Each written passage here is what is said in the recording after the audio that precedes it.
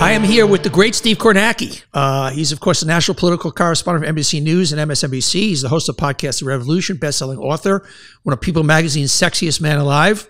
Um, he is kind of everybody's uh, plush toy on election night, makes us all feel comfortable and safe and knowledgeable. He's become kind of a national treasure and an internet sensation. Steve, thanks for being here, man. Uh, Donny, that's that's really kind, and I, have I've never been told I make people feel safe before, so I, I kind of like that. Well, it is, you know, it's it, particularly in the last couple of elections, it's particularly stressful for people. You know, you, there's a lot on the line. We, everybody knows that ad nauseum, and, and whether it's abortion or democracy or you know, major major things, and there's something you have this. Although you're doing this frenetic thing, it's such a calming way because you're so trustworthy, you're so on top of it that it it calms a little bit. I actually kind of notice when you come on the screen beyond leaning in. For me, it relaxes me a little bit. Like, okay, everything's okay. Kornacki's here, you know. I, I, I love it. I'll take it. So, what do you think if you're going to do a little self analysis that the 2020 election puts you it really in as a sensation? You just it just hit a nerve uh, I, I, mean, the art, everything from Leslie Jones ending up with a tremendous crush on you. I know you recently did the Daily Show, to articles written over you, to uh, you know, as I said, being known as this this this uh, heartthrob. What do you think happened? Why do you think is if you're going to do a self analysis? What what happened? What nerve has, have you hit? Yeah, well, I mean, I guess the old line is "there's no accounting for taste," so right. there's, there's probably something there. Um, I, you know, I, I, I, just it was a weird election. Uh, it is one word. There's many words you could use for 2020, but it was it was one that in many ways. I, I mean, we're going to have a a very unusual one this fall as well. But I think what one of the things that made 2020 so unusual, so weird, was just how long it took to really get all the results, and, and that was a lot of that had to do with COVID, a lot of you know changes that year in, in some of the important swing states to their voting laws to allow for mail in voting, to allow for extended early voting. And they just, in a lot of cases, they either had antiquated laws that they failed to update or they just had never gone through this before. And it created a process where they were, you know, the day after the election, they still hadn't counted millions of ballots. And it was a very, in some of those states, as you all remember, I'm sure, it was a very, very slow process. So it was like, like that Polaroid picture used to used to take, where it would take a develop, while to yeah. come into focus. You know, it was like on Tuesday we see a little more, Wednesday a little bit more, and it really took till the end of the week, till till Saturday morning, to get the full picture. So I, I just think it was, um, you know, and, and, I was in a position where I could kind of narrate that for people, um, kind of blow by blow, and um, you know, I, I don't. You know, everyone remembers. I certainly do the the 2000 election you know that night was was chaotic. It gets called for Bush. It gets you know called for Gore. It's all over the place. Uh, and Tim Russert was uh, was kind of the the the, the um, the figure who kind of you know from the media side who really kind of emerged from that and he had that famous whiteboard the board you know, yeah it was a little simpler than what you do a little, little bit simpler it, it, was, not that long ago i tell people but uh, you know again that was sort of a, a, chaotic it was a chaotic night and then it became something different for 40 days because it was just a, it was a court case but in the case of 2020, it went on for you know for four nights, for five nights. Just uh, try to understand how your brain can do what it does. What astounds me is it'll be some random county in Vermont, and you just have just an encyclopedic knowledge of every county in every map. Uh, how, how explain how you how you actually can do that? It seems almost inhuman. well, I, I, mean, I, it's. I, I, guess the thing is, I, I, know a lot about a little and nothing about a lot. Yeah, like you didn't know who Taylor Swift was. I mean, that, yeah. I mean, it's honest. I'm oblivious to. Right. I am oblivious to things that uh, that people are otherwise extremely familiar with. So it, you know, it just so happens for whatever reason, I do think my mind has always kind of, you know, worked well with or understood things through numbers. Um, I can remember that, you know, from a young age. Just it, it, would always help me understand something if I could put a number on it and compare it to something else. Put a number on that, and it just helped me make sense of things, sort things out, and and that definitely, you know, I, when I was a kid, I was kind of applying that to sports, to box scores, to that sort of thing.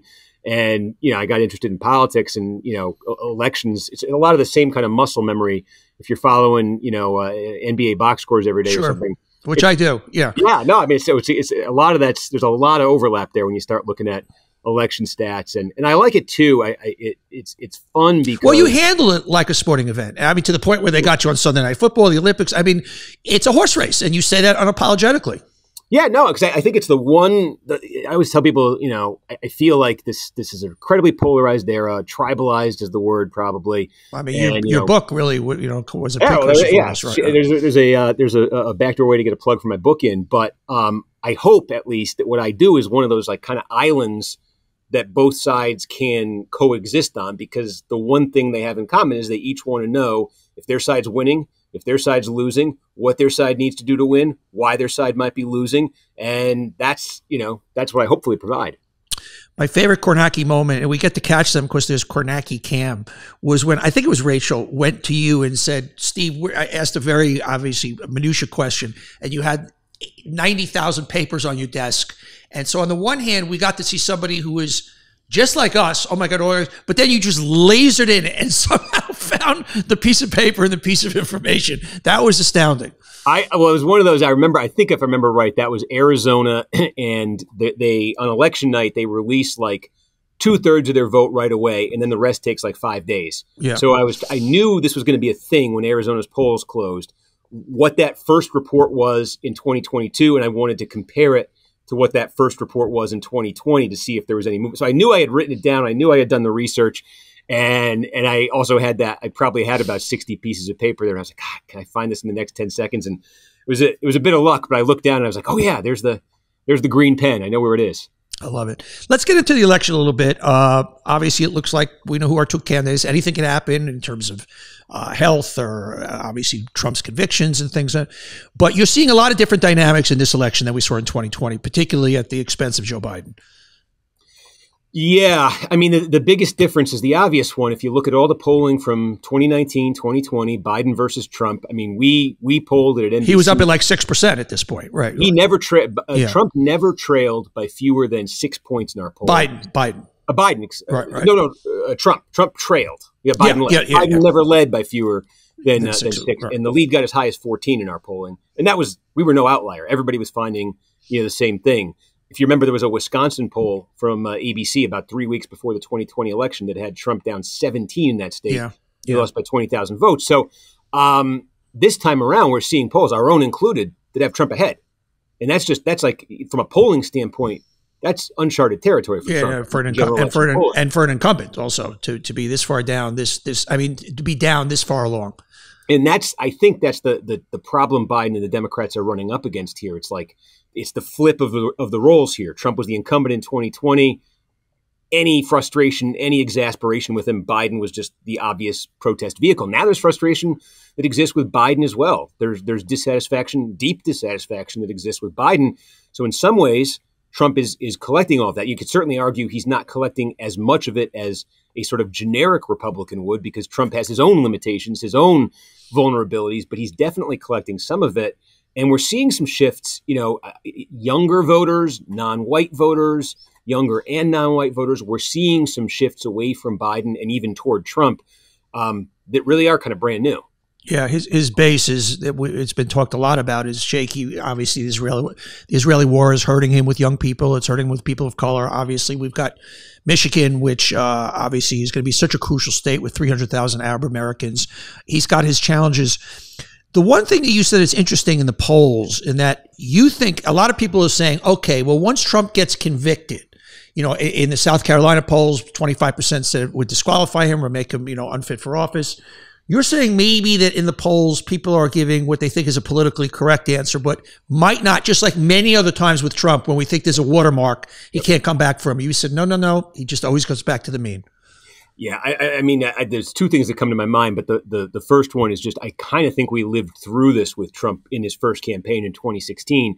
Because I, I look at it this way: if if you had taken a poll, let's say in the summer of 2016, and described the contents of the Access Hollywood tape, yeah. and said, you know, if this comes disqualifying, out, 60, right. 90 percent of people would say no, disqualifies right. him. Yeah. And you, right. who would you vote for, Clinton or Trump? Yeah. You know, and so then it did come out, and and it happened to be it was almost like a great political science experiment because it literally happened to come out the first day NBC was in the field with a poll in October 2016, and we saw this happen, or the second day I think it was, because we saw it happen where the first day Trump was down seven points to Clinton. That was kind of his standard deficit in 2016. And over the next two days, it exploded. I think it got as high as 19, came down a little bit in the third day, and on the final day, it was back at seven. Yeah. So it was like in the span of three days, amazing. These voters worked through all the motions and got back to baseline. And I almost, I, you know, until proven otherwise, I think I think that's my default assumption of what would happen, even if there's a, a felony conviction. And obviously, the polls is Biden. We see so much. He's old. He's old. But beyond that, what is your take? And I don't know if there's anything the numbers are going to show us that why the good stuff doesn't stick. He's the unstickiest president in the entire world. You know, the by most just about every other economic metric other than inflation, and inflation is cooled. Uh, he's he's had a winning winning hand. Yet when it comes to the issues of economy, uh, he still gets horrible marks and gets beaten dramatically by Trump. I think one of the things I guess to keep in mind on, on inflation is even when it cools, even when it stabilizes, the prices don't go down so I, I think yeah. you know when you talk about inflation, it's it, it, it, takes a while for for the sting of that to kind of go away for people. So even if it is cooling now, I, I, I don't know that people are going to answer or immediately say, "Oh yeah, this is great, inflation's done," because they're yeah, still remembering yeah. what it was. they're still years they're still paying fifteen percent more than they used to pay, right? Right. So I, I mean, I think on inflation, that's that's a big part of it, um, and it's it's also you know his um, how do you say it? It's it, it is like his public visibility is, is fairly limited. And, and yeah. exactly what's going on there in terms of behind the scenes, I, I don't know you know whether that's related directly to age or anything but i think his public visibility is limited yeah that was a mistake keeping him out of the super bowl because that was a relatively i mean it would have been gail king or uh, or um, uh, norah o'donnell not an adversarial place to be and the fact that they shut him down there was a bad signal to people. Really and I, I, think it indicates too that they they see his his folks see 2024 as, in their view, they plan to repeat 2022. Yeah, you know, 2022 midterms when you know everybody was in the base. Red yeah. yeah, yeah, fizzled, and and what you saw ultimately were you know kind of there were swing voters out there who were ready to vote Republican. We saw this in some states, but they wouldn't vote for the Trump aligned Republican candidates in 2022. And so there's a, you know, I think the Biden folks think that when it comes to it, it may not be that the sale is is for Biden. It, it may just be that those voters look at Trump, can't do it, and go back to Biden. I think that is what they're banking on. You've also said abortion, although obviously a he- huge issue, will not be the issue the way it was uh, four years ago. But I, I, I, I kind of find that counterintuitive, being that we've had Roe overturned. So uh, right.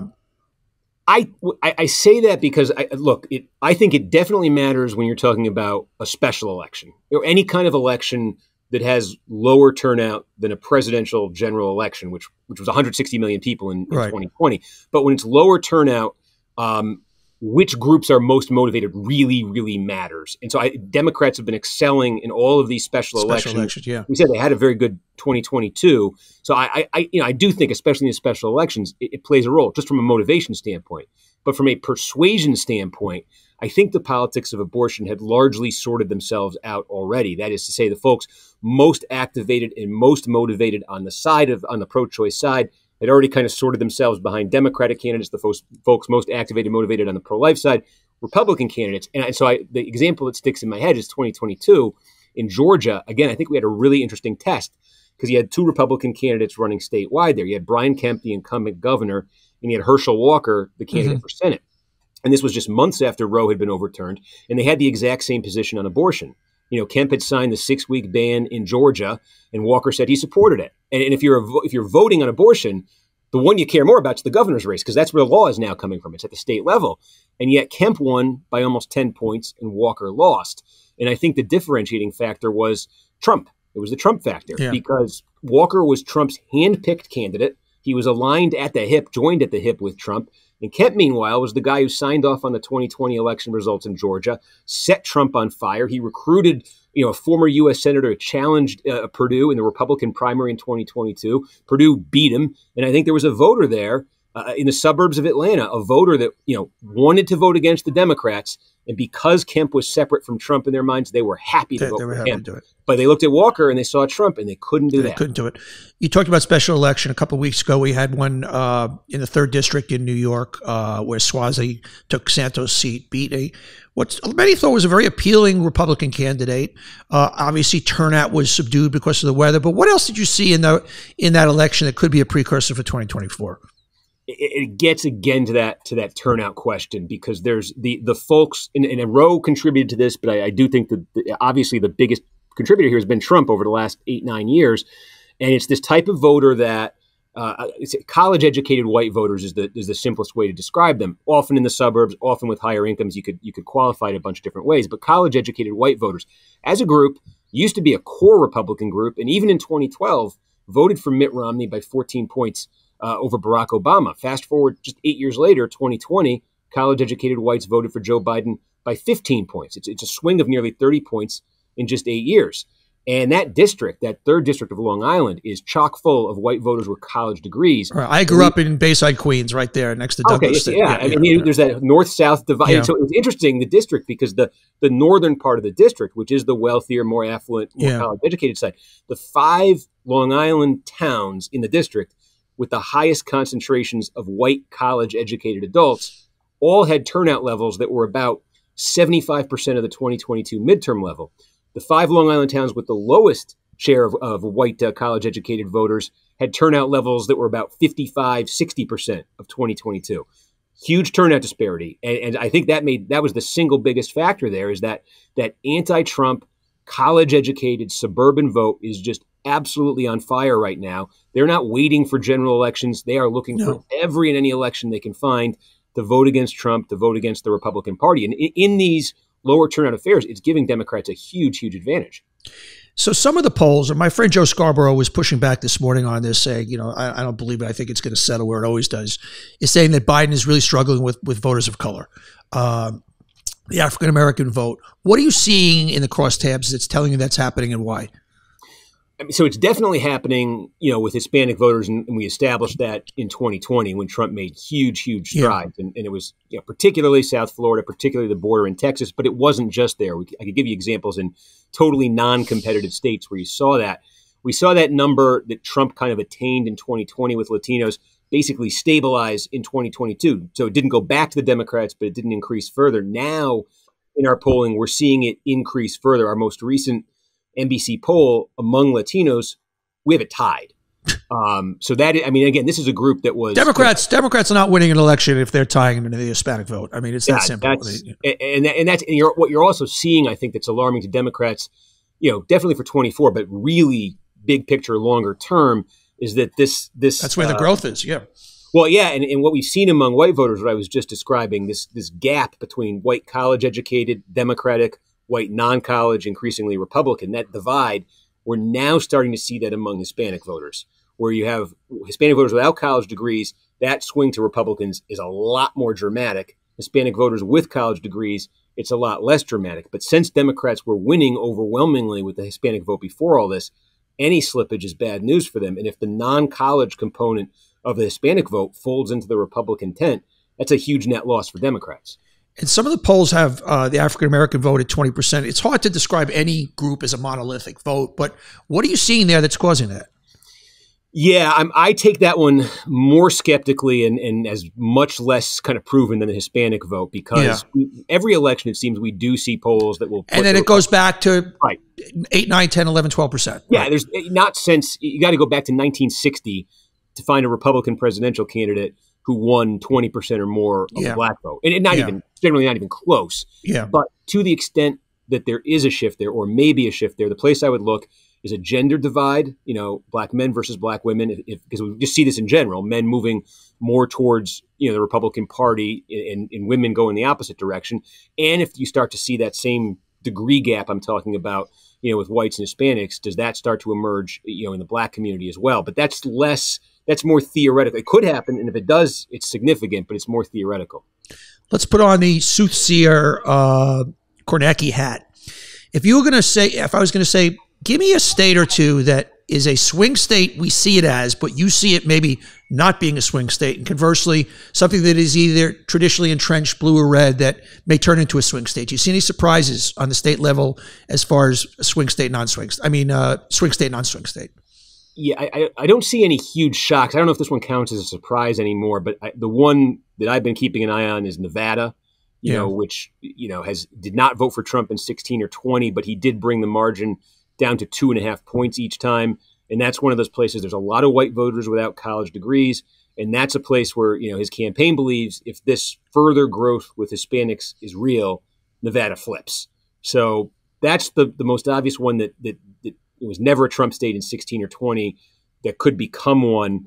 Um, and on the on the other side, in, in, terms of Biden pulling in any new territory from 20, you know, I, I, I can't really see that. The one that what's interesting is Trump, if he's going to get to three, if he's going to get to 270, barring something totally rabbit out of the hat, he's got to win one of those three, you know, Midwest, Pennsylvania, states, right? And, and, the one that, that, I think is most interesting right now is Michigan. Sure. Yeah. Um, it, for the reasons you were saying, and it's interesting because while Trump won Michigan in 16, it really, of all those three, swung the hardest back to Democrats in 2020. It, it went from 10,000 votes uh, to Trump to a couple hundred thousand, right. I think, for Biden, right? Right, and yet the polling now pretty consistently out of there is is is some you know alarm signs for uh, for Biden. So, if, how if much of that is the how much of that is the Arab American vote?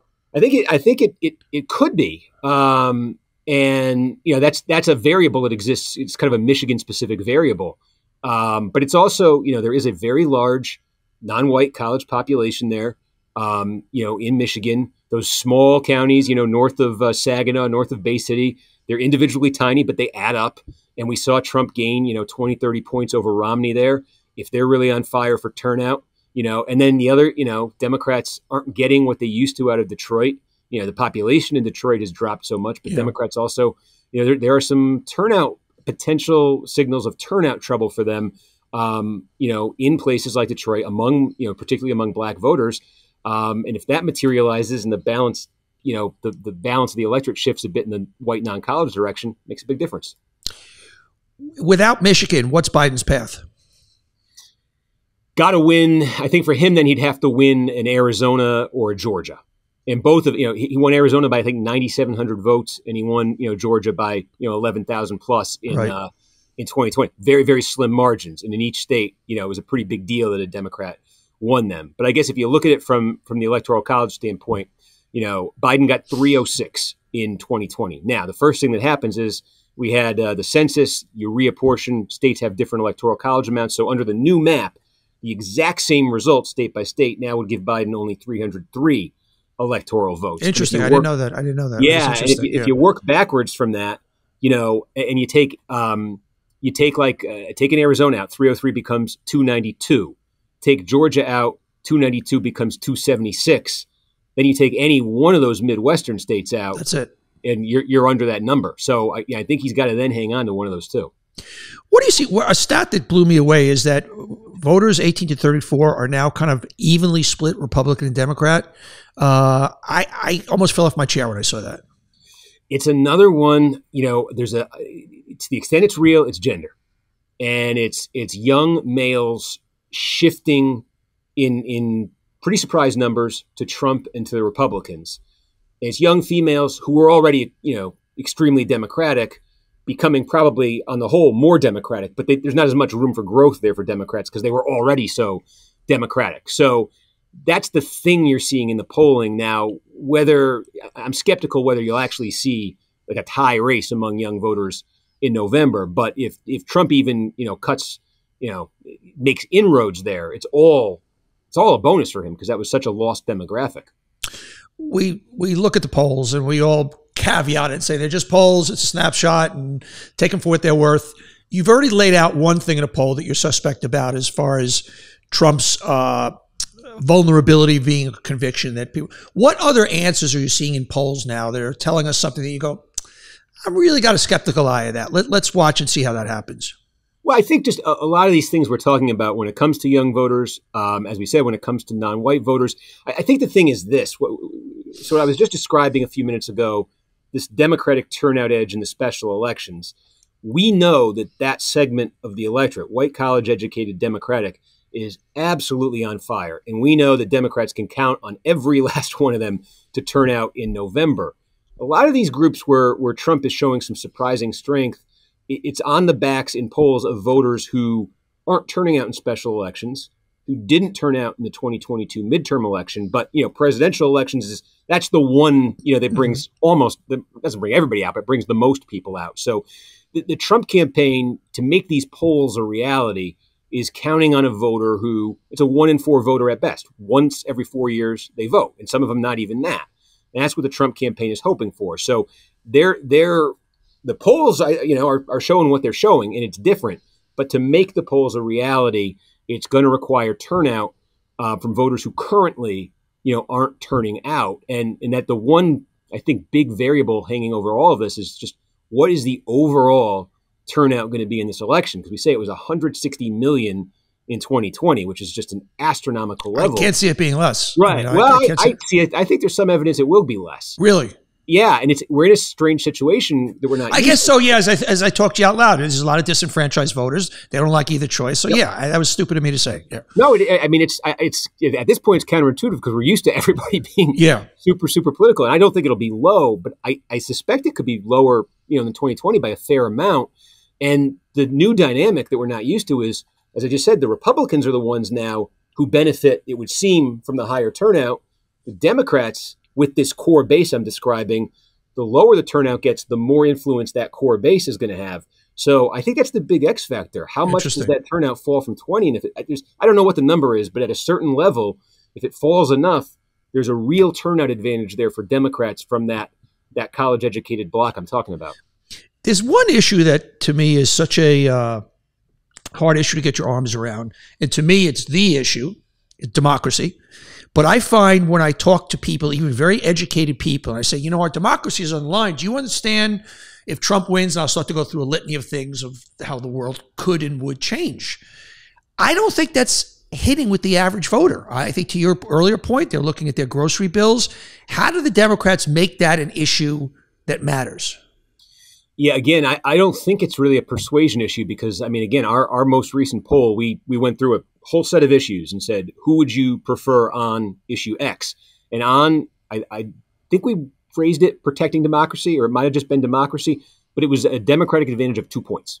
That's so, insane. Just, That's so you, insane. That's so insane. What it, what it, shows you though is that it's it, depending on where you are, kind of politically, you you you just interpret that question and that issue very differently. So when it comes to that, I do think, and I do think we saw this in 22 in the midterms, that was a motivating issue for those those voters I was describing, like in Georgia, who could vote for Kemp but who couldn't vote for Walker. Mm-hmm. I think January 6th had an awful lot to do with that, and you know that's that is a thing that that you know Democrats are counting on being a thing in 24 as well, keeping that same voter away from Trump and and maybe as I said, if there's if the turnout is not hitting the, the 160 million level, maybe that type of voter is a little more influential than they were in 2020.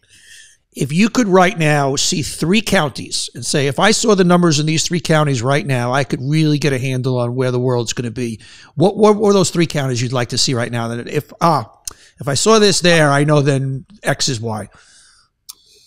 The, the obvious one in Arizona is Maricopa County. Right. And it's, it makes up more than half the state. And when Biden won it in 2020, he was the first Democrat to win it since 1948.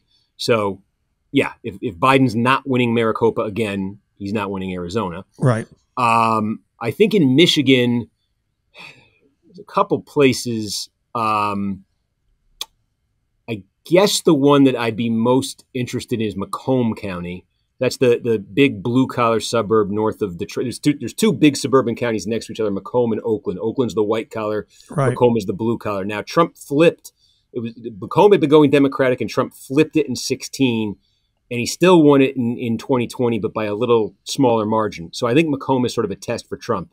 Can he jack up the margin in Macomb County from where it was in uh, in 2020? And I think that will go a long way to answering the Michigan question.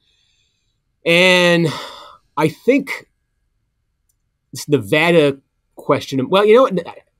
I won't say Nevada because the reality with Nevada is it's six electoral votes, and it's actually kind of hard to construct an electoral college scenario where Nevada becomes the swing state. Right, right. Um, so I think then you do have to look. You probably do have to look at Georgia, and you know which one of those counties. Um, it's one of those sort of counties right outside of Atlanta, right outside of Fulton County. The one that flipped. Mo- they've all been becoming more and more democratic. Population yeah. changes, population growth. The one that flipped the most recently, Republican to Democrat, is just uh, southwest of Atlanta, Fayette County. Mm-hmm. And so I think I look at that one. Does that does that flip back? Good answer. All right, last question, and I I, I know what your answer is going to be, and I'm not asking you to predict the election because it's not what you do, and nor would you do it.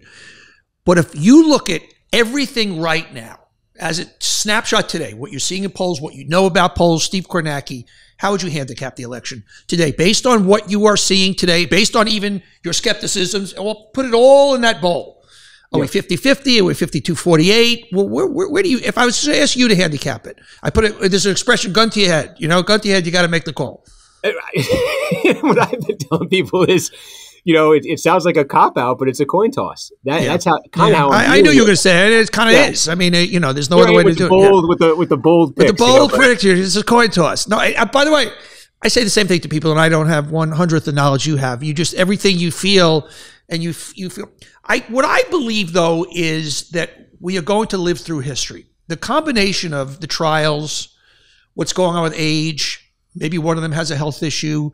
I just think the world is going to shift a bunch of times in ways we haven't seen it shift between a February and a November. I just it's just my gut. That's my as a behaviorist, I see unforeseen things that could that are going to just change the landscape as we see it now. I don't see it's going to be as it is now.